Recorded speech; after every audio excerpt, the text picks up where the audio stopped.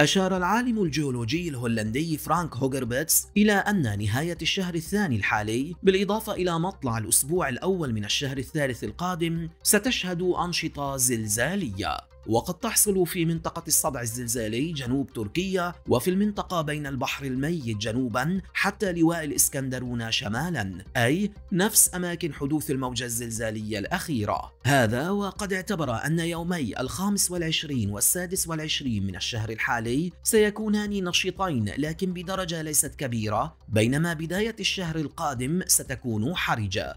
وأطلق هذه التنبؤات عبر حسابه في تويتر والذي أعاد التغريدة بفيديو من حساب الهيئة التي يعمل بها SSJO هذا وكان فيديو سابق لهوجربيتس قد سبب الكثير من التفاعل والجدل بين رواد مواقع التواصل الاجتماعي وخصوصا في تركيا والدول العربية بعد توقعه زلزال تركيا قبل حدوثه بثلاثة أيام.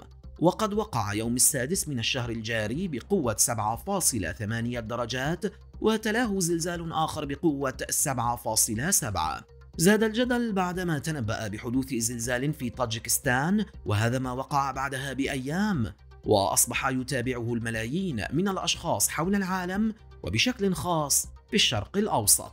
قال التلفزيون المركزي في الصين سي سي تي في أن الزلزال في طاجكستان سجل 7.2 درجات على مقياس ريختر وعلى عمق 10 كيلومترات كما أوردت شبكات الزلازل في الصين وذلك بعد انتصاف الليل ب 37 دقيقة بتوقيت غرينتش تقريبا. هذا العالم المثير للجدل بدأ اسمه يظهر للعلن بعد توقعه زلزالا في نيبال والذي وقع حينها وسجل 7.8 درجات.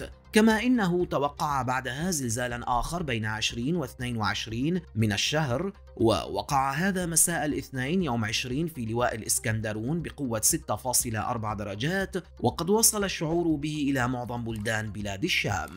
ولا زال الكثير من النقاد والجمهور يهاجمون هذه التوقعات حيث يقولون إنه لا توجد طريقة علمية مثبتة لتوقع الزلازل وهذا ما يؤكده فرانك هوجربيتس بنفسه إذ يقول أن هذه التوقعات لن تصيب بنسبة 100% لكنه يعتمد على ربط مناطق النشاط الزلزالي مع حركة الأقمار والكواكب في النظام الشمسي وذلك من أجل توقع النشاطات الزلزالية وهذا ما يعتبره هو ناجحا معه حتى اللحظة بشكل كبير. ولذلك هناك الكثير من الناس يصدقون ما يقوله هذا العالم مما يزيد من نسبة الجدل.